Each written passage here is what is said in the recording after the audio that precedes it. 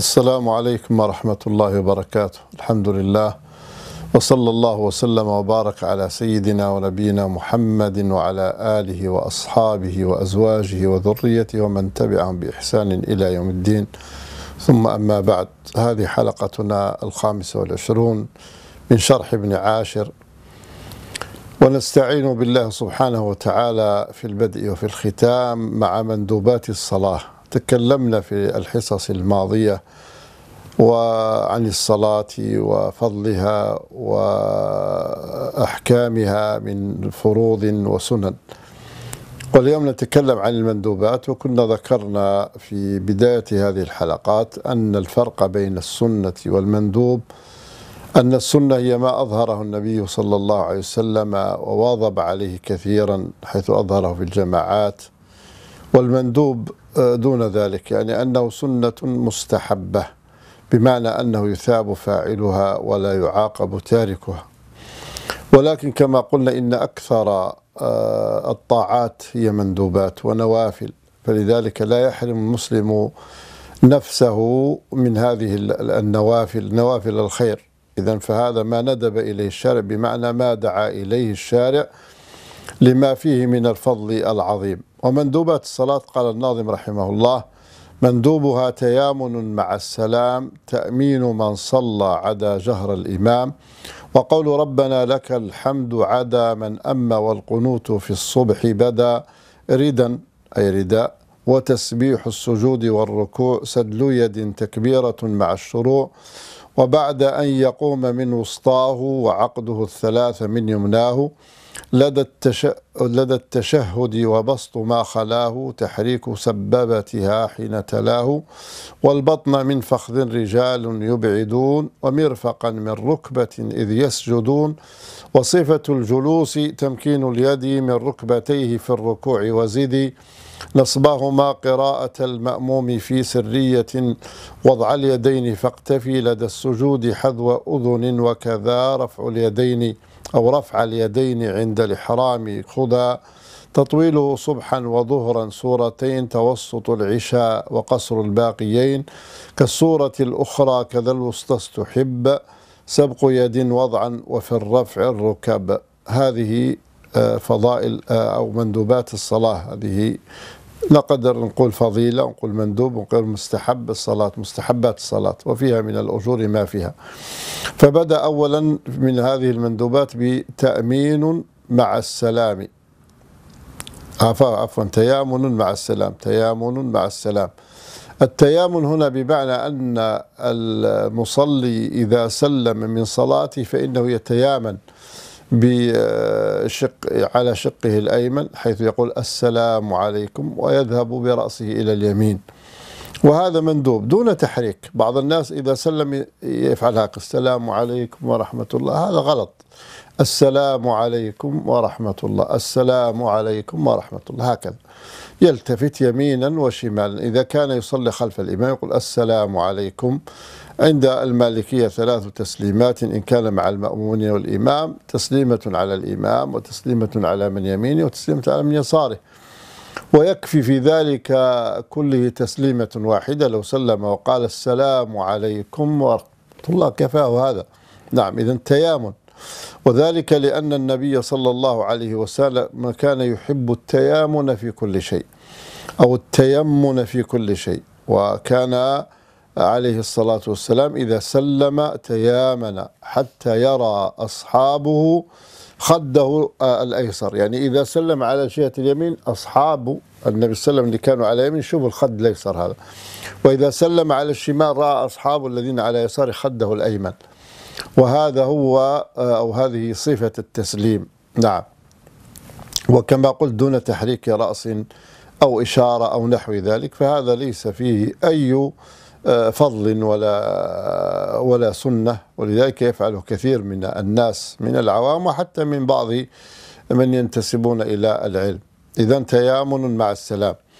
تأمين من صلى عدا جهر الإمام. إذا أولا تأمين التيامن كما قلنا. وهذا في هديه صلى الله عليه وآله وسلم. ثانيا التأمين التأمين وهو قول آمين عقب الفاتحة. القراء اتفقوا على أنه من المستحب أن يؤمن آه، المسلم عقب الفاتحة والفقهاء اتفقوا على ذلك أيضا. وذلك لأن النبي صلى الله عليه وسلم كان إذا قال ولا الضالين يعني من آخر الفاتحة قال آمين. وآمين معناها استجب لنا يا رب يعني استجب لنا يا رب سبحانك. والتأمين من فضائله أن النبي صلى الله عليه وسلم قال ما حسدتكم يهود كما حسدتكم على التأمين والسلام تأمين آه، عقب الدعاء فيؤمن الإنسان وهذا فيه آه، مشاركة المأموم للإمام. طبعا إذا كان الإمام آه، قال ولا الضالين قال المأمومون خلفه آمين. هل يسن للإمام أن يقول آمين؟ نعم من المستحب أن يقول ذلك ولا حرج فيه وقد كان النبي صلى الله عليه وسلم يصلي بأصحابه فيؤمن فيؤمن أصحابه معه. عليهم الرضوان. وعلى نبينا أفضل الصلاة وأزكى السلام. فإن لم يؤمن الإمام أمن من خلفه. وقد قال النبي صلى الله عليه وسلم إذا أمن الإمام فأمنوا. فمن وافق تأمينه تأمين الملائكة غفر له. سبحان الله. يعني من أسباب المغفرة أن توافق تأمين الملائكة الذين معك في الصلوات وفي السماء على ذلك الدعاء الذين يؤمنون. وآمين فيها عدة لغات. منها إما أن تقول آمين آمين. ولا تقول آمين والله آمين. يعني كلها جائزة. وقد قال آه، صاحب الموطأة آه، الفصيح الذي نظم الفصيح ثعلب وهو ابن المرحل رحمه الله قال في موطأته قال وإن دعا الإنسان قل أمين بالقصر يحكى وزنه ثمين. آمين. يعني بالقصر مش, مش آمين لكن بالقصر آمين. قال جبير وهو ابن الأضبط في الأسدي فطحل فلتضبطي مني تباعد اللئيم فطحل لما رآني قد أتيت أسأل. آمين. زاد الله بعدا بيننا كما أراد بعدنا وبيننا. قال وإن شئت فقل آمين. بمد بألف تمدها تمكينا. وإلا تقول آمين تمدها مدا أي تمكن ذلك المد. قال الفتى المجنون في الليلة التي أولته من طول الهوى ما أولتي يا رب لا تسلب فؤادي أبدا حب التي لم تبق عند عندي جلدا. ويرحم الله الرحمن عبدا قال آمين في دعائه ابتهال آمين.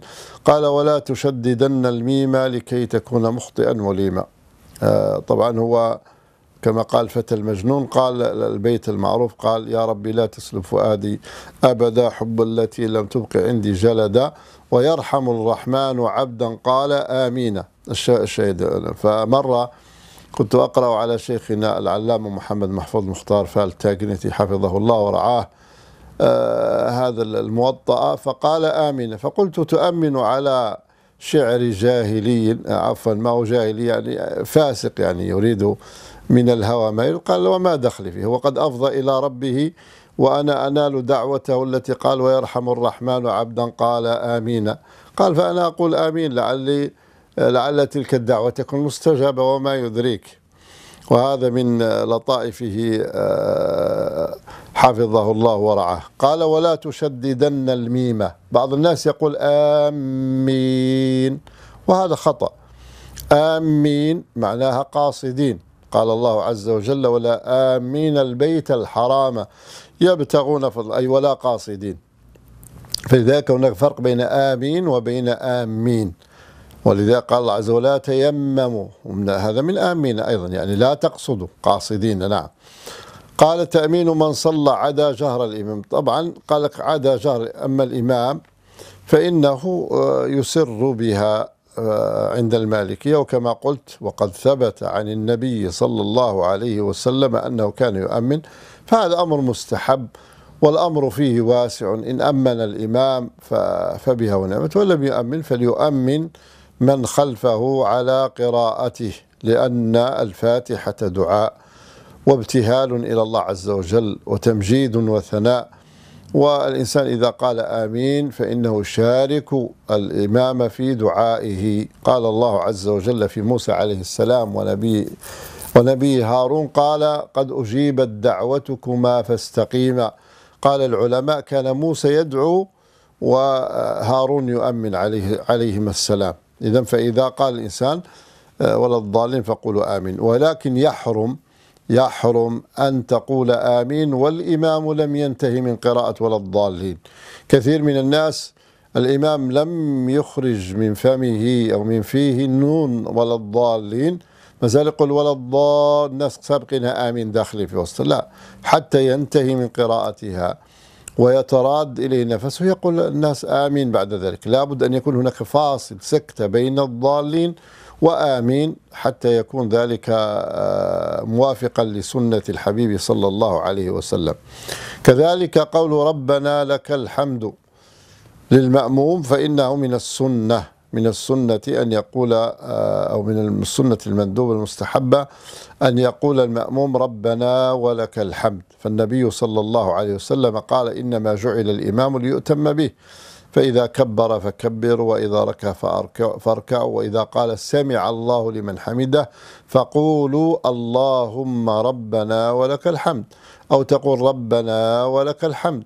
أو تقول اللهم ربنا لك الحمد. كلها واردة عن النبي صلى الله عليه وآله وسلم.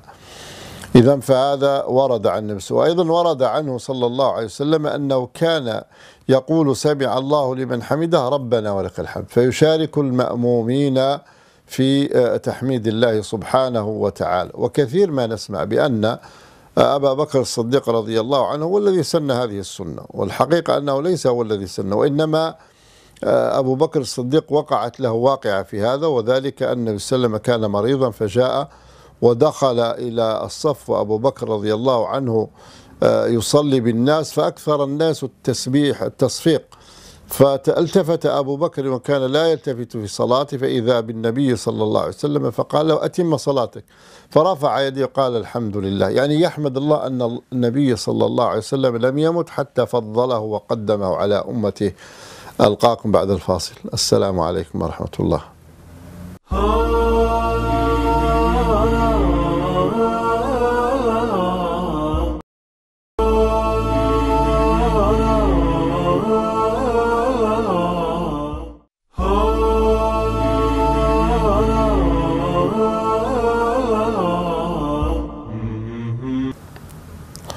السلام عليكم ورحمة الله وبركاته. إذا فقول المأموم ربنا ولك الحمد هذه من المندوبات. وطبعا مر معنا في السنن المؤكدة أن سمع الله لمن حمده من السنن المؤكدة. لو تركها الإمام أو المنفرد مرتين أو حتى مرة مرة ذلك بالتكبير هو مرتين أو ثلاث تكبيرات الانتقال فإنه يأتي بسجود السهو سجدتين قبل السلام. نعم إذا فربنا ولك الحمد. كان النبي صلى الله عليه وسلم أحيانا يقول سمع الله الحمد ربنا ولك الحمد. وإلا فليقل المأموم كما قال النبي صلى الله عليه وسلم وإذا قال سمع الله لمن حمده فقولوا ربنا لك الحمد ربنا ولك الحمد اللهم ربنا ولك الحمد. لو زدت على ذلك فذلك مبارك طيب. لو قلت ربنا ولك الحمد حمدا كثيرا طيبا مباركا فيه ملء السماوات وملء الأرض وملء ما شئت من شيء بعد. أهل الثناء والمجد أحق ما قال العبد وكلنا لك عبد إلى آخره. هذا أيضا وارد. وقد قال رجل خلف النبي صلى الله عليه وسلم وهو يصلي قال ربنا ولك الحمد حمدا كثيرا طيبا مباركا فيه. فلما سلم النبي صلى الله عليه وسلم قال من القائل؟ فسكت القوم. خافوا من اللي ممكن هذا سوى خطأ ولا. فقال من القائل ما قال إلا خيرا. فقال أنا يا رسول الله. قال رأيت بضعا وثلاثين ملكا يبتدرونها أيهم يكتبها أولا ربنا ولك الحمد. حمدا كثيرا طيبا مباركا فيه. سبحان الله. هذه اللفظة قال النبي صلى الله عليه وسلم رأيت بضعا وثلاثين ملكا يبتدرونها وهذه اللفظة أربعة وثلاثين حرف. فسبحان يعني والبضع بين الثلاثة إلى التسعة. يعني هذا بضع معناها ممكن يكون عدد كل حرف جاء ملك سبحان الله. كلهم يريد أن يكتبها أولا ليسبق بهذا الخير إلى رب العالمين بهذا الذكر العظيم. إذا ربنا ولك الحمد حمدا كثيرا طيبا مباركا فيه. والتسميع إذا قلت سمع الله لمن حمده في الرفع من الركوع ربنا ولك الحمد. هذا ذكر هو هذا ذكر آه هذا الموضع وهو النهوض من آه من من الركوع. وكذلك آه، التكبيرات الانتقال هذا ذكر. يعني كل آه، يعني ينبغي العبد كأنه ينبغي العبد أن يشغل كل ثانية كل لحظة في صلاته بذكر. وللأسف فإن كثيرا من المأمومين قد يفسدون على الأئمة قضية التكبير وخاصة في آه، سجودهم. إذا أراد الإمام أن يهوي إلى السجود قال الله أكبر وجدت المأمومين سبقوه وسجدوا أمامه. والسنة التي ينبغي أن يفعلها المأموم أن ينتظر الإمام. ولذلك جاء في بعض الروايات فإذا ركع فاركعوا ولا تركعوا حتى يركع الإمام يعني يتمكن من الركوع. وإذا سجد فاسجدوا ولا تسجدوا حتى يضع الإمام جبهته. أو كما قال صلى الله عليه وسلم وقد أورده ابن حجر رحمه الله في بلوغ المرام وهو حديث حسن. وكان الصحابة رضي الله عنهم لا يسجدون قالوا حتى يعني يمكن النبي صلى الله عليه وسلم جبهته من الأرض. اليوم نحن نشوف المساجد فيه صراع. وتنافس ومسابقة للأئمة وهذا من الجهل الخطير. آه، وبالطبع أن الإنسان إذا سبق الإمام في تكبيرة الإحرام والسلام فصلاته باطلة باتفاق. وإذا سبقه في الركوع فقد أساء وأثم لأن الإمام كما قال النبي صلى الله عليه وسلم إنما جعل الإمام ليؤتم به فانتبه. إذا كبر تكبيرة الإحرام فانتظر حتى يفرغ من تكبيرة الإحرام. مش الإمام زي قال الله أكبر لم يخرج الراء من فمه وأنت قد انتهيت من تكبيرة الإحرام. هذه باطلة. أو أن الإمام لم يكمل ولا الضالين وأنت جبت له آمين دخلت في وسط الفاتحة. أو أنه لم يركع وتمكن وأنت تركع أمامه. أو لم يرفع وأنت استويت وانتهيت. لا. فلذلك الإنسان لابد أن يتابع الإمام المتابعة هنا وليست المسابقة. وليست أيضا المساوقة يعني أن تكون متساوي متساوي مع الإمام. لا هذا ليس أيضا من الأدب في الصلاة إنما جعل الإمام ليؤتم به. إذا فهذه أذكار جعلها الشارع في الرفع وفي الخفض وإما إلى ذلك. كذلك القنوت في صلاة الصبح القنوت من المندوبات والقنوت وهو الدعاء. هنا بمعنى الدعاء في صلاة الصبح عند المالكية والقنوت. ثابت في المذاهب الأربعة ولكن باختلاف في موضعه. فالأئمة المالكية والشافعية جعلوه مندوبا في صلاة الصبح واختلفوا هل هو قبل الركوع أو بعد الركوع.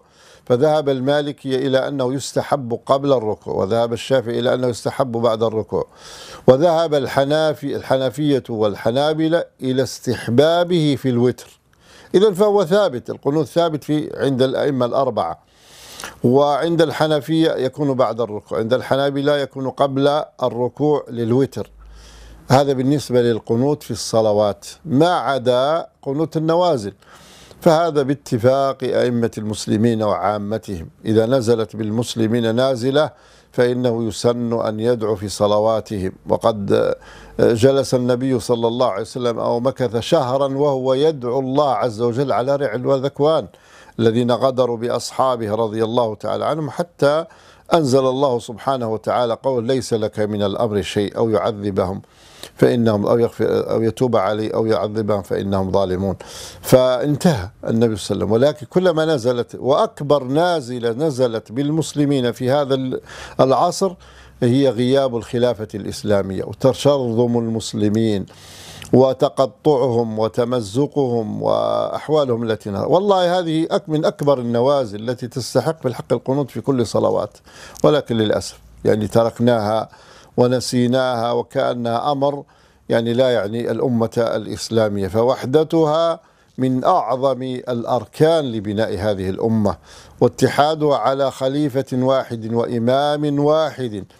يقودها كما قادتها الأئمة في العصور الماضية من زمن النبي صلى الله عليه وسلم إلى آخر الخلافة العثمانية حتى على ضعفها ووهنها. ولكن ترى آه، ولذلك اليوم الكفار لا يحبون أبدا أن تعود هذه الخلافة. وإذا اصطنعوا يعني خلافة فإنما يصطنعوها لتشويهها كما رأينا في, في, في عصرنا هذا.